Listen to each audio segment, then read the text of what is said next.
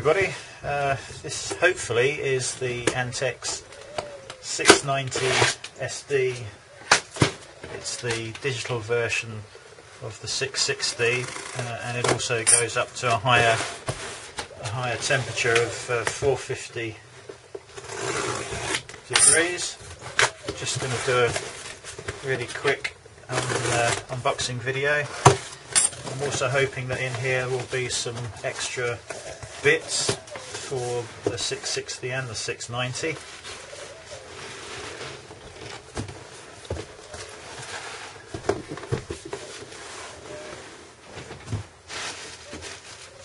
Yeah, there we go.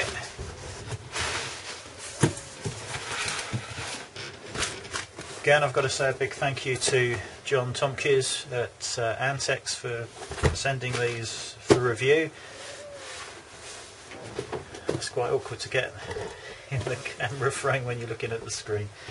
Anyway, so let's have a look. We've got some spare tips now because the uh, 660 only came with the one tip which wasn't entirely suitable for some of the bigger jobs I had to use it on last week, which was mainly the uh, replacing the tuner in, in, one of the sets I had. Uh, so we have uh, an 1103, an 1109, 1101, 1102, and 1106.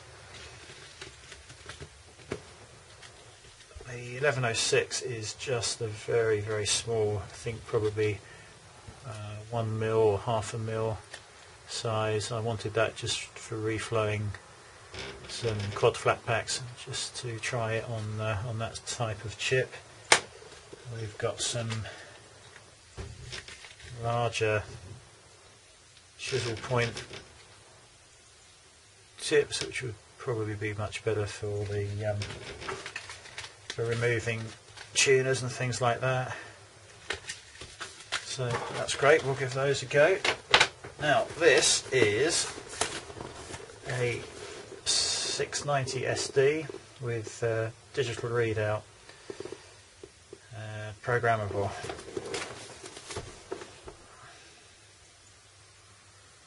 Two thirty volts, 55 watts with the SD50 iron and the ST6 stand which I think is probably the same as the, the stand on the 660 that we had a look at uh, a week or two ago.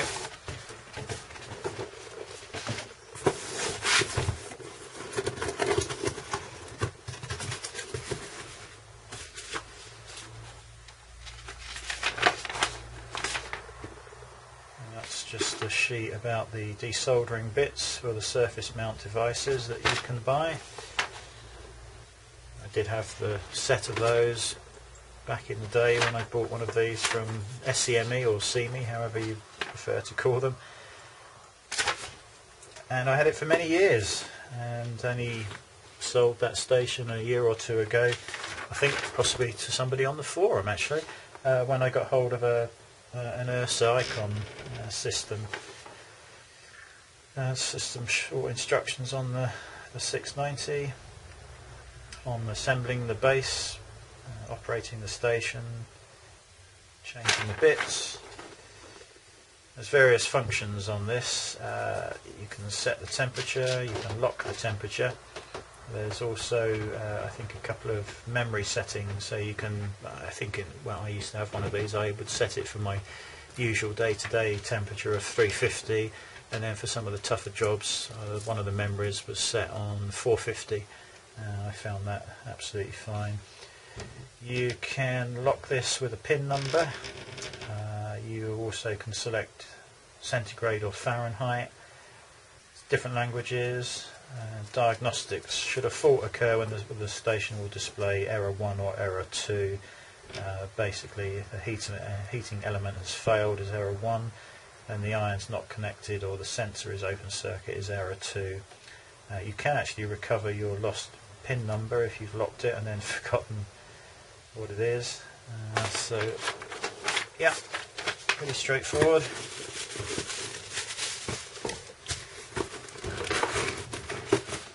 Uh, this brings back pleasant memories from when I had one of these before.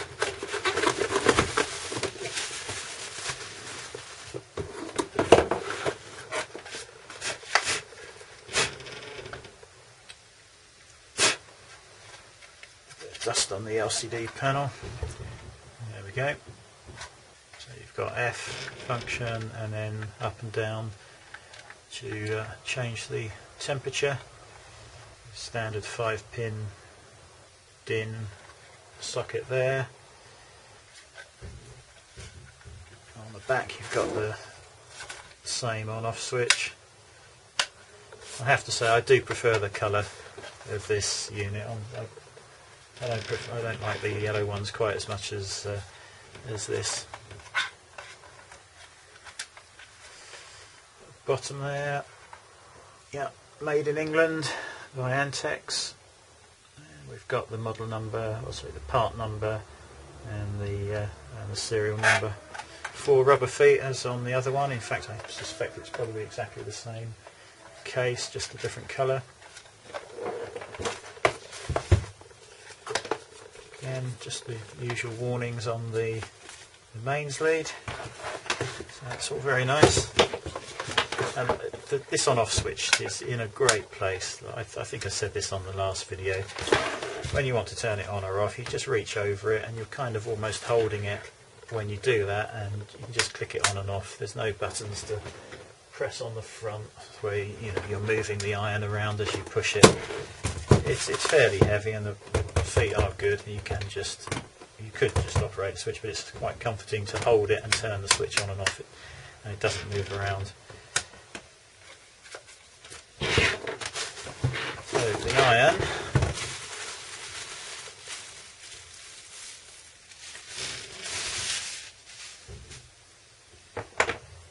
is an SD 50 hopefully you can read that on there.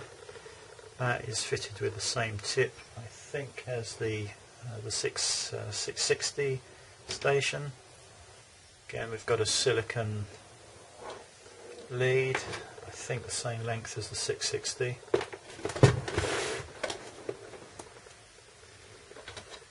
that in there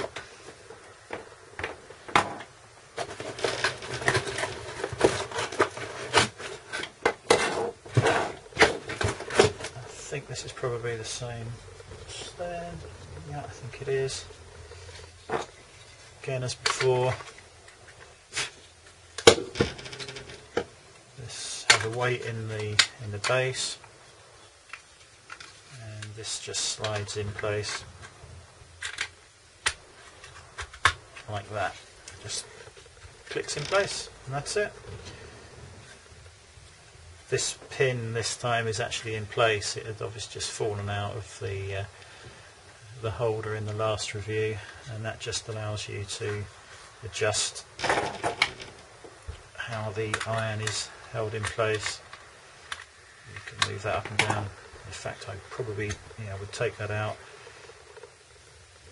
push that down a fraction, and uh, see if we can use that lower lower position. Yeah, that's a much better fit in there now.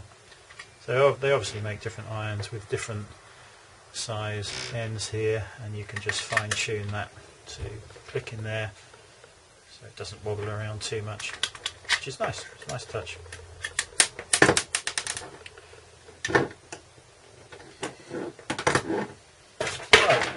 This time I've set all this up near one of the main sockets, so I'm just going to plug this in and uh,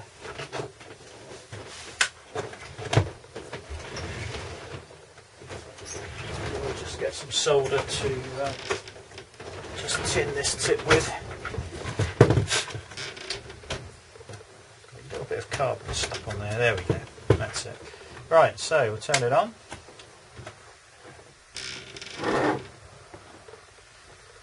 See it's heating from there and uh, you can see how quickly that's heating up. As I recall this was pretty quick to uh, to heat up. No issues with that. Just going to try and tin the tip with the other my other hand.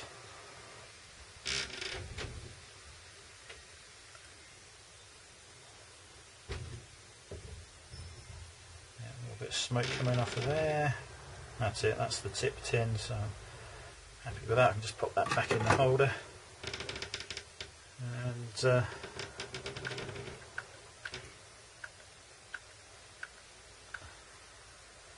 don't know what this has been set to, but we'll just bring it down to 350.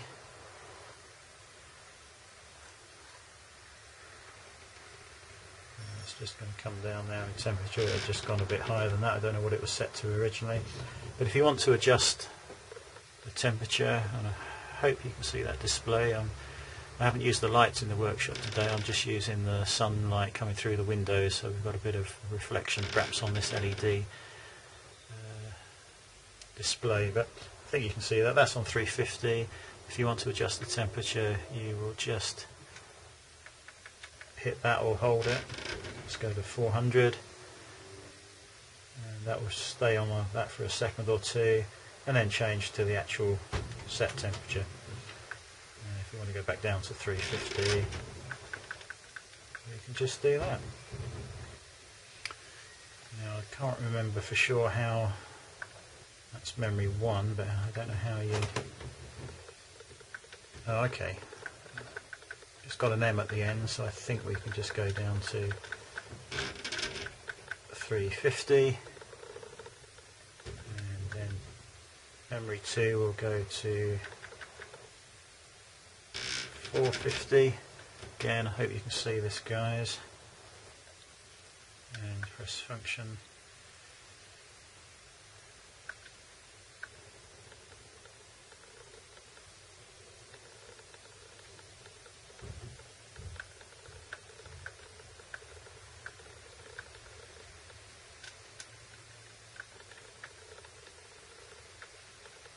I think I can't remember. It's been a few years. I'm going to have to uh, have a quick look at the manual on how to set the memories.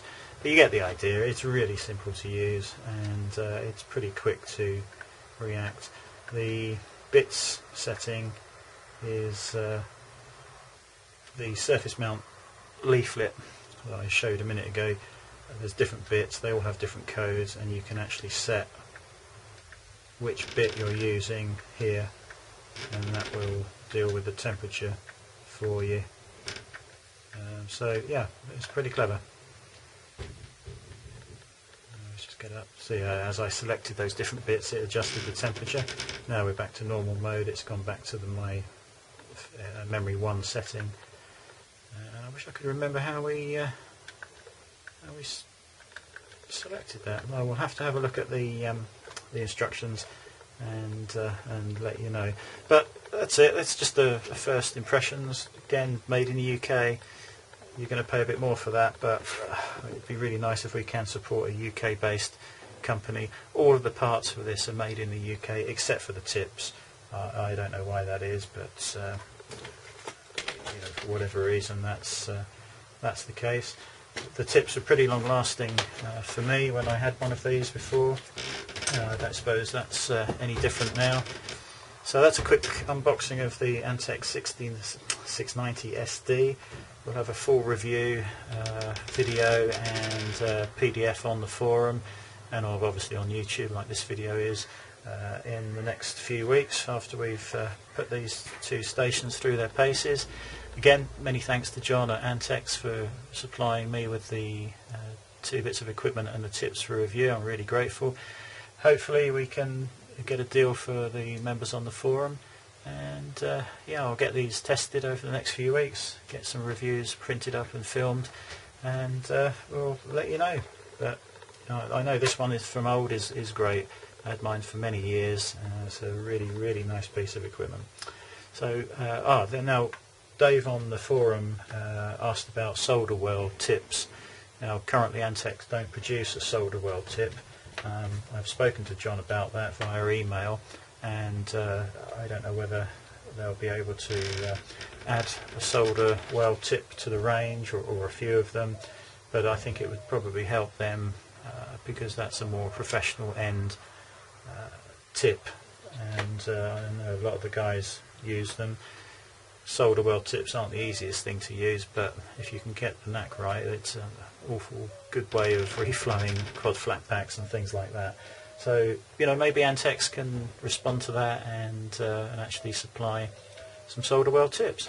uh, or any other tips that members feel are, are necessary. So uh, let me know on the forum if uh, if you do use solder well tips, and uh, we'll, we'll go from there. But I certainly think it would help sell these stations to the more professional market. Um, anyway, quick unboxing video, Antex 690 SD. Thanks a lot. Bye.